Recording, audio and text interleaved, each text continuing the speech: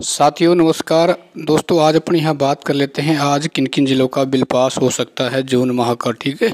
उससे पहले कल साथियों, आप सभी ने देख लिया होगा कि कल जो बीकानेर का बिल पास किया गया था, जून माह का हो ठीक है?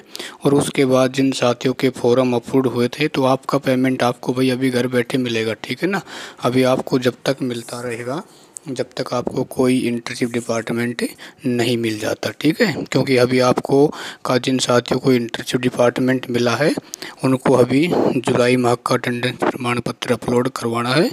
और साथियों, आज हो सकता है चार से पाँच लोग का जून माह का बिल है, वो देखने को मिल सकता है। इसकी पूरी जानकारी मैं आपको अगले वीडियो में आपको दे दी जाएगी कि भाई आज जून माह का बिल है किन किन ज़िलों का पास होगा ठीक है? तो चैनल से जुड़े रहें। धन्यवाद।